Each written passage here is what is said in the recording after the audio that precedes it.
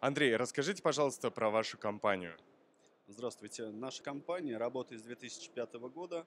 Мы занимаемся технологиями, инновационными технологиями в плане здорового питания, такие как воды, продукты питания и так далее.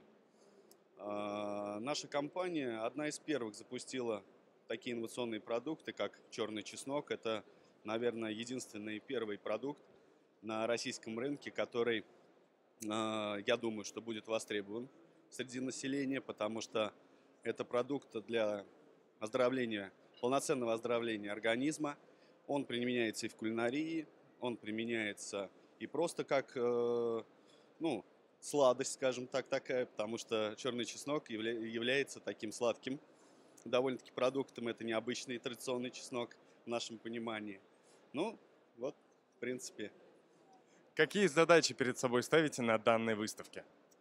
На данной выставке ставим задачи ну, для того, чтобы, а, ну, естественно, показать нашу продукцию, показать, чем мы занимаемся, для чего мы этим занимаемся, а, донести, а, скажем так, покупателям, потребителям наши продукты.